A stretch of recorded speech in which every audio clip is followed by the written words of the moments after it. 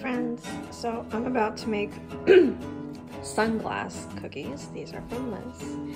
And I want to make sure that like the inside eye portion and everything is exact on each cookie and matches up. So what I've done is I've traced it with permanent pen um, and I'm gonna cut out the center part and then what I'm going to do is I'm gonna like overlay it on the cookie, do a trace before I flood, and then for the other side to ensure that I don't have to make like an exact same kind of, uh, of shape, I'm just gonna flip it the other way.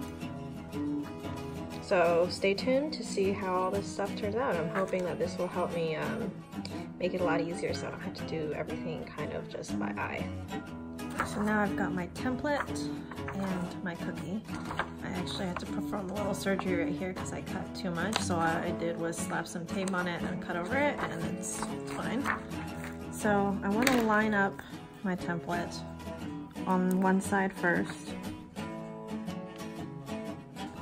And remember, it's just a guide. So when you get the icing on there, you can still manipulate it to kind of make sure that um, you're getting the shape you want. And then in order to do the other side, I just flip it over.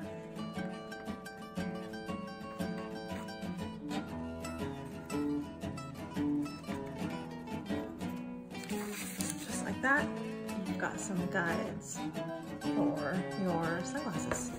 And I'm using a food doodler here in yellow. You can use any kind of pen you want for this. Sweet Sugarbelle has one that's really nice.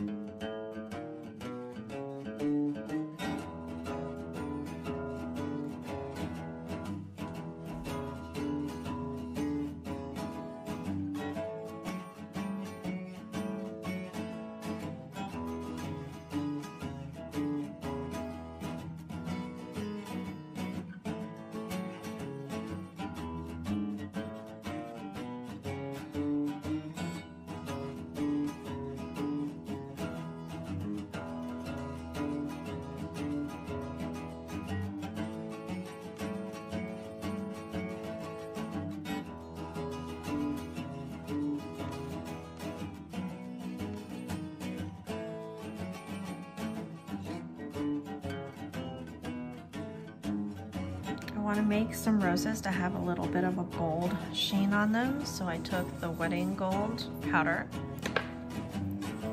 and basically instead of using cornstarch to kind of grease your mold so that it has easy release, I'm using the gold for that. And I'm throwing in the fondant into the mold